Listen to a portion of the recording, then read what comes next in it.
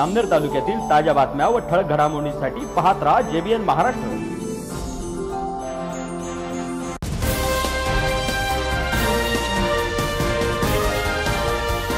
नमस्कार मी विनोद चौधरी. पाहूया काही ठळक वृत्त. तळेगाव येथील शेतकरी रमेश सखाराम जिरी यांनी परिसरात नारळ शेतीचा यशस्वी प्रयोग केला असून त्यातून त्यांना मोठ्या प्रमाणात उत्पन्न मिळत आहे. एकोणनव्वद आर म्हणजे सव्वा दोन एकरमध्ये त्यांनी चारशे पन्नास नारळांची झाडे लावली असून एका झाडाला एका बहाराला कमीत कमी दोनशे फळं लागतात आणि असे सहा ते सात बहर वर्षभरात नारळाला येत असून या झाडांना जवळपास चार लाख पन्नास हजार फळं येतात. प्रत्येकी दहा रुपयेप्रमाणे त्यांची किंमत पंचेचाळीस लाख रुपये होत असून जवळपास वर्षाकाठी वीस लाख रुपये एकरी उत्पन्न घेत असल्याचे शेतकरी रमेश सखाराम जिरी यांचे म्हणणे आहे.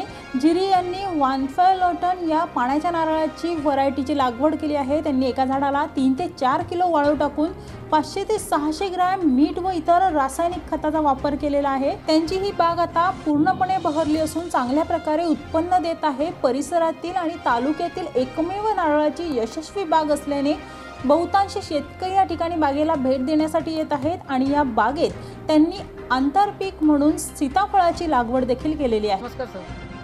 मी रमेश सकाराम जील राहणार शेळगाव तालुका जामनेर जिल्हा जळगाव. मी नारळ शेती बनवली आहे. शेती कमी खर्चामध्ये उत्पन्न गेले पाहिजे बा असं म्हणून. तर मी लावलेलं आहे. बा तीन चौथं वर्ष पूर्ण झालेलं आहे का आणि तिसऱ्या वर्षी माल येतो पाहिजे. उत्पन्न घेऊ शकतो आपण चौथं वर्ष.